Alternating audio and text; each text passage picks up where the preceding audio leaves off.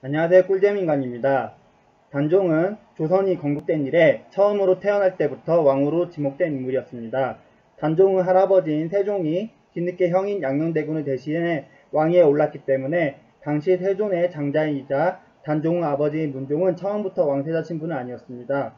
한편 단종의 아버지인 문종은 조선 최고의 미남이었지만 마누라 복은 지지리도 없는 남자라고 얘기했죠. 그렇기 때문에 세종은 장자 문종의 아들 소식을 애타게 기다리고 있었습니다. 이후 문종은 세 번째 부인으로부터 일남인녀의 자식을 얻었으며 그 아들이 바로 훗날 조선의 제6대 임금인 단종이었습니다. 단종이 태어나 1441년은 할아버지 세종이 임금이자 아버지 문종이 대리청정하던 시기였기 때문에 단종은 조선 최초로 왕정적인 왕의 길, 즉 원자 세자 왕으로 즉위할 수 있었습니다. 하지만 실상은 결코 왕정적인 자리가 아니었습니다. 그의 불우한 삶은 출생부터 예고되었다고 해도 과언이 아닙니다.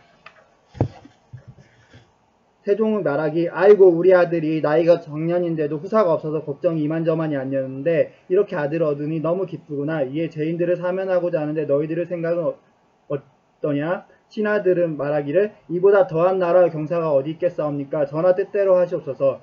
그래 그런 교지를 읽어 죄인들을 사면하도록 하겠다. 그때 툭 하는 소리와 함께 임금 앞에 있던 촉대가 갑자기 땅에 떨어졌다고 합니다. 교지를 읽기를 마치기도 전에 진상의 대촉이 갑자기 땅에 떨어졌으므로 빨리 철거하도록 명하였다. 손자의 탄생을 기뻐하던 할아버지 세종이 제수들을 사면하는 교지를 발표하는데 앞에 있던 촛대가 바닥에 떨어진 겁니다. 생각해보세요. 귀한 왕손이 태어난 걸 축하하는 자리에 기분 나쁘게 촛대가 뚝 떨어지다니요. 그런데 정말 불길한 일이 벌어질 징조였을까요? 실제로 다음날 단종 어머니 세자빈 건씨가 산후병으로 세상을 떠납니다. 단종의 비극은 이때부터 시작됩니다. 단종이 6세가 되는 해에 할머니 소연왕후가 돌아가셨고 10세가 되었을 때 할아버지 세종이 승합니다. 효자였던 아버지 문종은 이를 몹시 슬퍼하여 점석과 3년상을 치릅니다. 하지만 3년상을 영이어 두 번 치른다 생각해보세요. 몸이 쇠약해질 수밖에 없습니다. 3년상을 치르는 동안 왕은 어떤 절제를 해야 하냐면 먼저 왕은 3년 동안 소복만 입고 지내야 합니다. 그리고 부모님 묘 옆에서 심효살이를 합니다. 하지만 정치를 해야 하니 총회하는 내관을 대신 보냅니다. 그리고 왕은 3년 동안 몸가짐을 단전히 감추고 고기와 같은 육식을 즐길 수 없습니다. 고기뿐 아니라 다른 음식도 최대한 절제해야 합니다. 또 가끔은 슬픔에 겨워 눈물을 흘려야 합니다. 3년상과 관련한 규제 사례는 세종대왕을 통해 배워볼 수 있는데요. 세종이 엄청난 고기 마니아였는데 아버지 태종이 자신이 죽으면 3년 동안 아들이 고기를 못 먹어 힘들어할까봐 이런 유언을 남겼다고 합니다. 아들아 3년상 동안에도 고기는 꼭 챙겨 먹어라. 물의 6년상을 치르다 보면 건강했던 사람도 몸이 약해질 수밖에 없는데 하물며 병역하기로 소문난 문종이 6년상을 치렀으니 얼마나 몸이 상했겠어요. 결국 문종은 왕위에 오른 지 2년이 조금 지나서 병으로 승하합니다. 즉 약 10년 동안 조선 왕실에서는 소원왕후, 세종, 문종의 줄조상이 이어진 것이죠. 단종의 입장에선 자신을 지켜주던 큰 기둥 세 개가 한꺼번에 쓰러진 겁니다. 게다가 단종의 어머니 건씨가 죽은 후 문종은 후처를 드리지 않았기 때문에 어린 왕을 대신해 수련천정할 왕실의 여인도 없었어요. 승하기 전 병상에 누웠을 문종은 어린 아들 걱정한다. 그리고 신하를 불러 말합니다.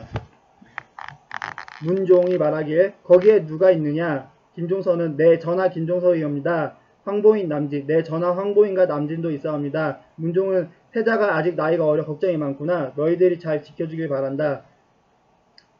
임금의 유언을 받던 대신들을 고명대신이라고 합니다. 영의정 황보인, 자의정 남지, 의정 김종서가 바로 고명대신으로 임금의 유언을 받은 겁니다. 특히 김종서는 세종 때 여진족을 때려잡았던 대호였습니다. 혈을 당신의 소년 군조 단종, 결국 그를 보필한 것은 왕실 어른이 아닌 아버지 문종의 유언을 받은 고명대신들이었습니다.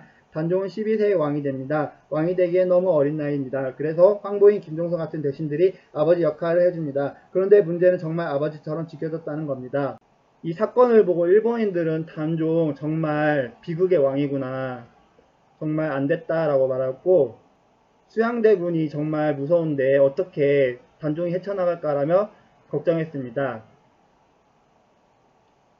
저는 이런 단종이 안타까우면서도 이런 자랑스러운 그리고 역사들이 자랑스럽고 우리나라가 자랑스럽습니다.